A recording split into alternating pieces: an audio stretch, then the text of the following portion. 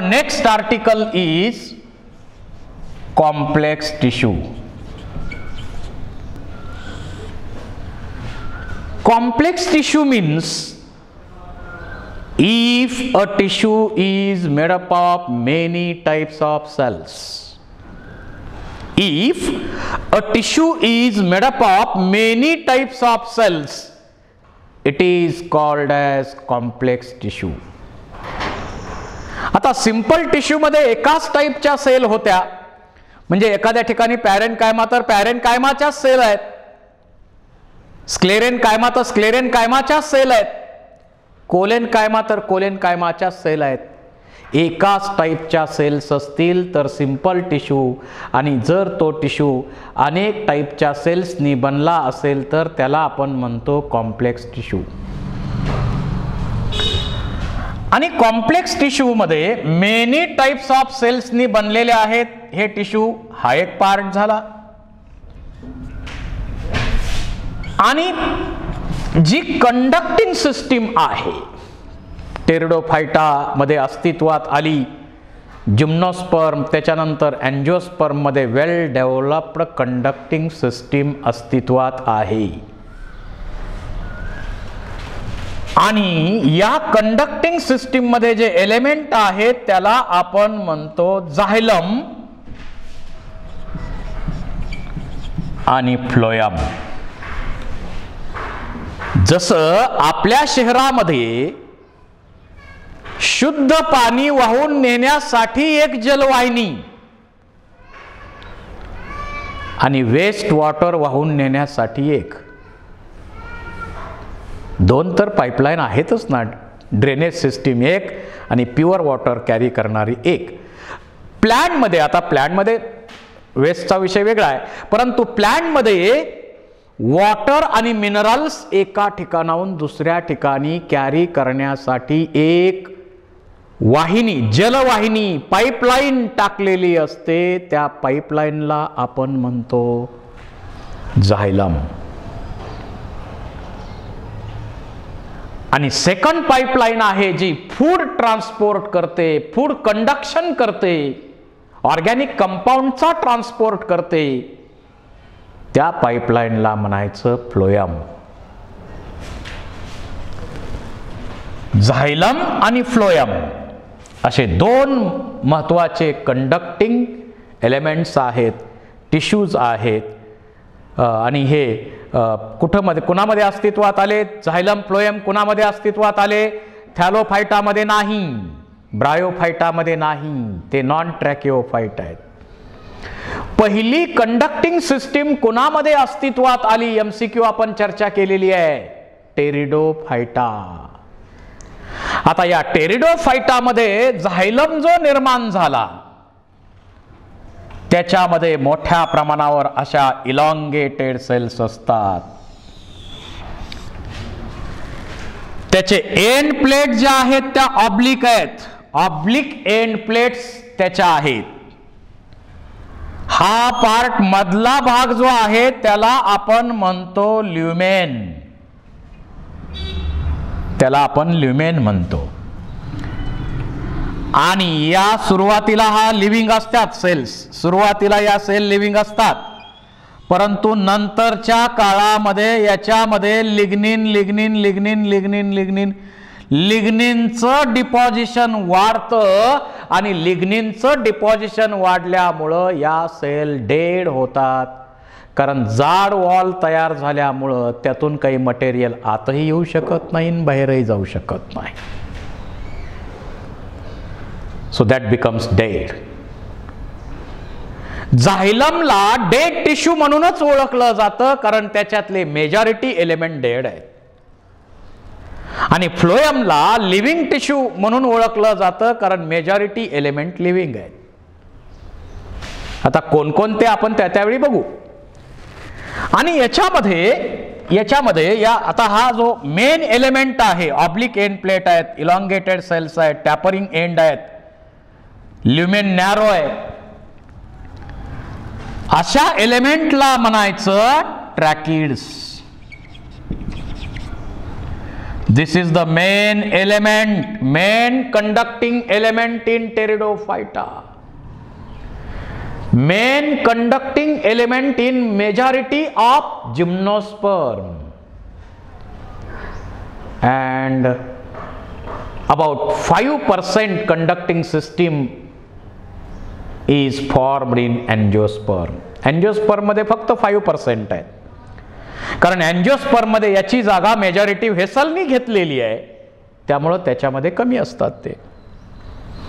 आणि याच्यामध्ये हे जे लिग्निन आहे लिग्निन वेगवेगळ्या प्रकारे इथं डिपॉझिट झालेलं असतं. आणि लिग्निनच्या डिपॉझिशनमुळं इथं वेगवेगळ्या टाईपचे थिकनिंग्स तयार होतात. ॲनोलार थिकनिंग आहेत. जसं असे गोल गोल गोल गोल असतील तर आपण काय म्हणणार? Annular reticulate scalariform reticulate spiral spring सारखे असतील असे समजा. स्पायरल असे असतील ॲनोलार असे असतील पीटेड त्याच्यानंतर पिटेड याच्यानंतर याच्यावर बॉर्डर असेल. बॉर्डरली पिटेड त्यातले बॉर्डरली पिटेड जे थिकनिंग आहेत ते ॲडव्हान्स समजले जातात. हे थिकनिंग्ज असतात त्याच्यामध्ये पिट्स असतात या ट्रॅकिड्समध्ये आणि ट्रॅकिड हेच टेरिडोफायटा आणि जिम्नोस्पर्म मेजॉरिटी जिम्नोस्पर्मचा एक ग्रुप वेसल असलेला पण आहे निटेल ऑर्डर तर त्यांचं सोडलं तर बाकीच्या सगळ्यांमध्ये जिम्नोस्पर्म आणि टेरिडोफायटामध्ये टेरिडोफायटामध्ये पण काही सिलॅजिनेलला सारख्या मेंबरमध्ये व्हेसल असतात. रेअर केसेस आहेत एक्सेप्शनल केसेस आहेत त्या. बाकीच्यामध्ये मात्र ट्रॅकिड्स हेच मेन कंडक्टिंग एलिमेंट त्यामध्ये आहेत. आणि अँजिओस्पर्मचा विचार केला तर अँजिओस्पर्ममध्ये झायलममध्ये फोर टाईपचे एलिमेंट असतात. Xylem of angiosperm consist of vessels tracheids xylem parenchyma and xylem sclerenchyma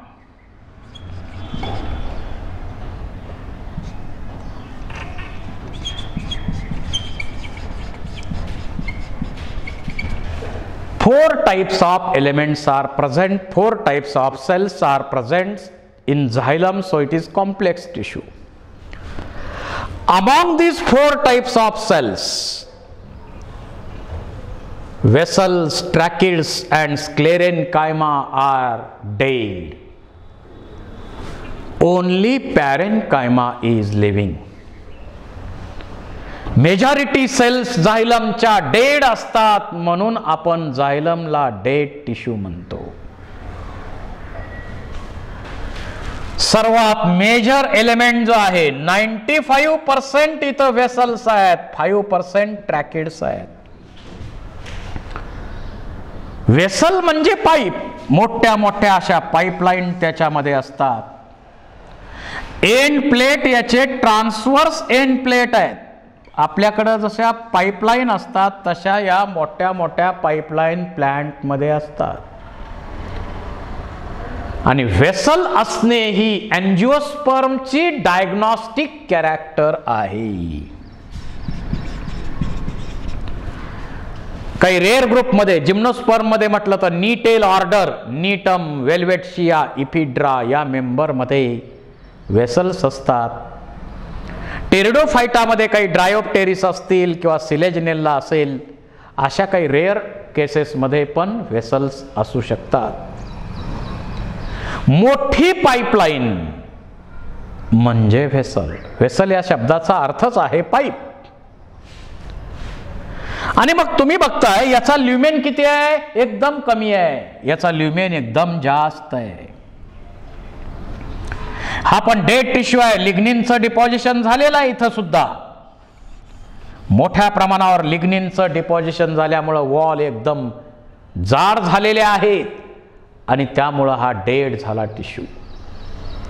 याच्यामध्ये सुद्धा अनेक टाईपचे थिकनिंग असतात. समजा अशा प्रकारचे थिकनिंग्ज या वेसलमध्ये असतील. तर याला आपण काय म्हणू? ॲन्युलार थिकनिंग्स जर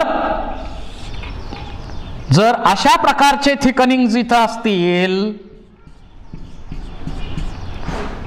याला आपण म्हणू रेटिक्युलेट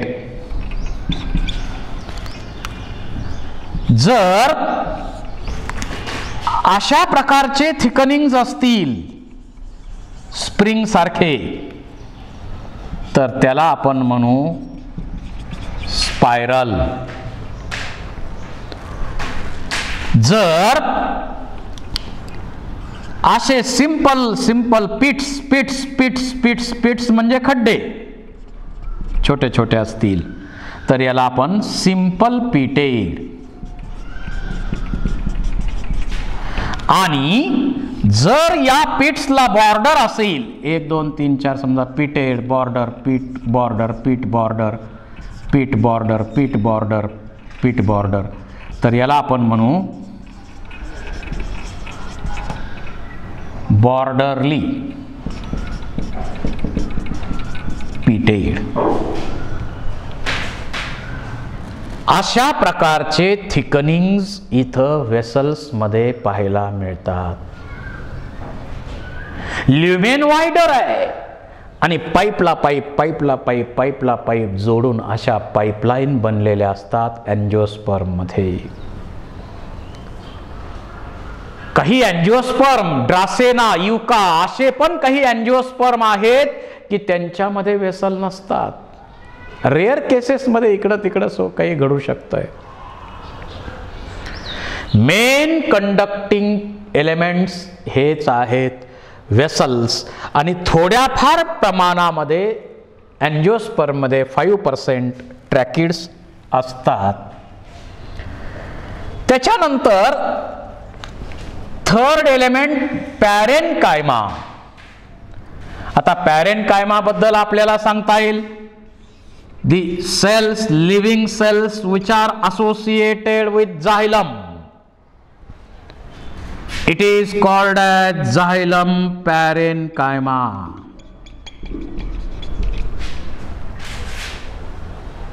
xylem parenchyma कायमा लिव्हिंग आहे स्टोरेज हे त्याचं स्टोरेज ऑफ फूड हे त्याचं फंक्शन आहे. आणि जर या पॅरेन कायमाबरोबरच याच्यामध्ये फायबर्स असतील स्क्लेरेन कायमा असेल तर याला आपण म्हणणार झायलम स्क्लेरेन कायमा. असे चार टाईपचे एलिमेंट्स झायलममध्ये पाहायला मिळतात. याच्यापैकी वेसल्स ट्रॅकिड्स आणि स्क्लेरेन कायमा हे डेड आहेत. आणि म्हणून या टिश्यूला आपण डेड टिश्यू असं म्हणतो. म्हणून या टिश्यूला डेड टिश्यू असं आपण म्हणतो. याच्यामध्ये फक्त पॅरेन कायमा लिव्हिंग आहे. बाकीचे सगळे एलिमेंट डेड आहेत. आता प्रायमरी झायलम.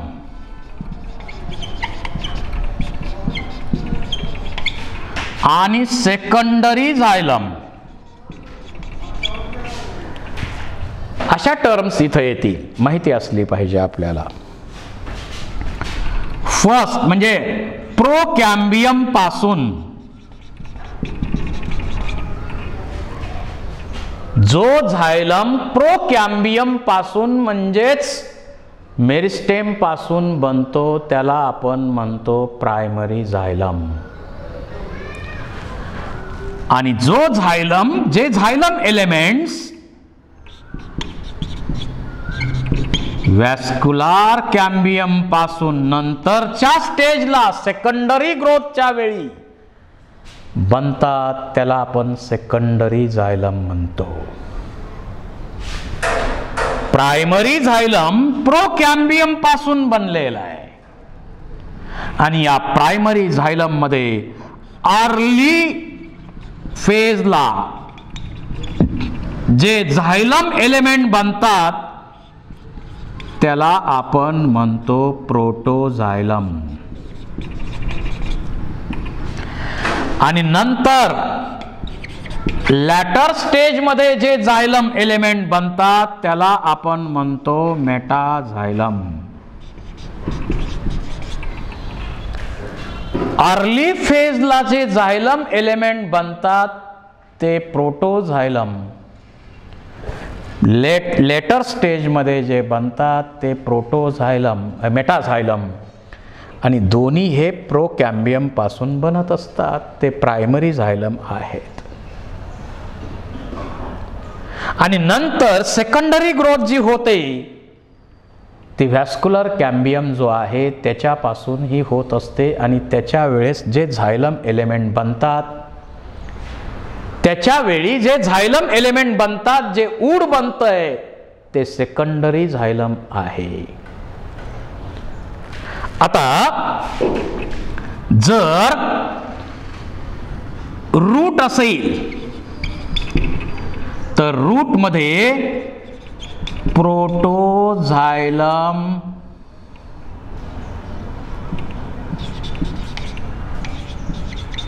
आउटर साईडला आहे. आणि मेटाझायलम इनर साईडला आहे. म्हणजे रूटचा विचार केला तर मेटाझायलम आत आणि प्रोटोझायलम बाहेर.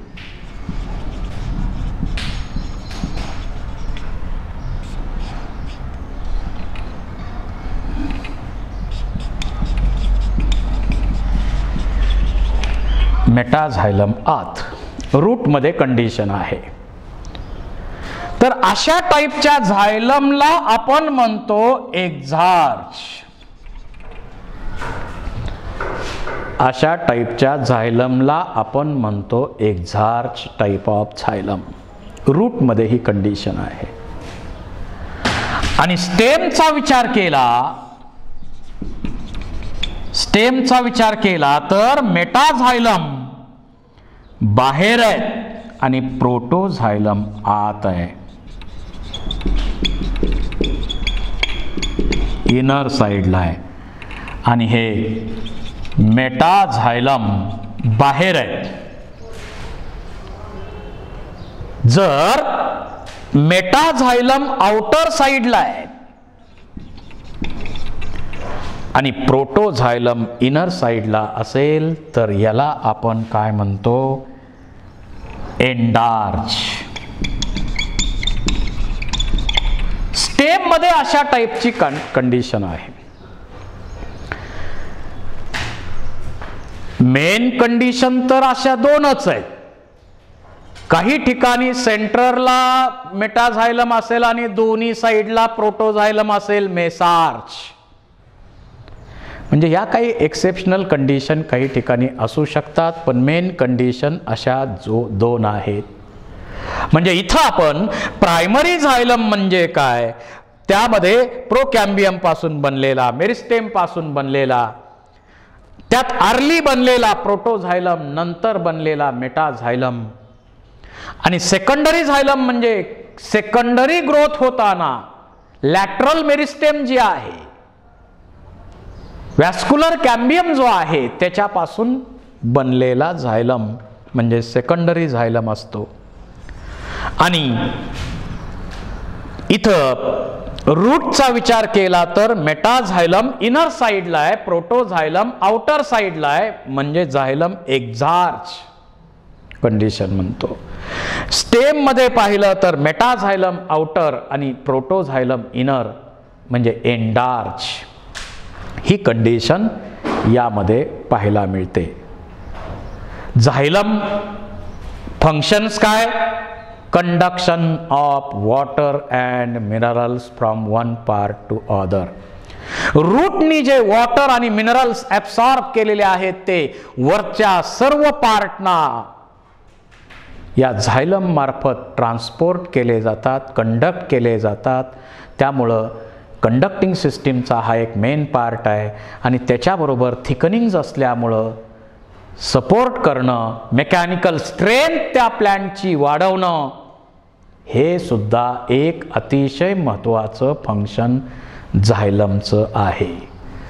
This is about xylem.